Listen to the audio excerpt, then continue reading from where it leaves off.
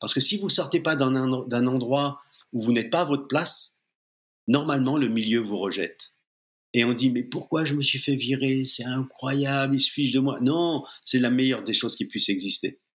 C'est parce que sinon, vous allez finir par euh, euh, vous gangréner, vous allez finir par euh, accepter l'inacceptable, vous laisser aller, vous endormir, et c'est pas possible. Donc moi, je n'ai pas saisi cette opportunité qui est passée, que j'ai vue. par contre, quand l'opportunité s'est retournée contre moi en disant Denis, c'est fini pour toi le football, je l'ai prise avec comme si c'était un cadeau.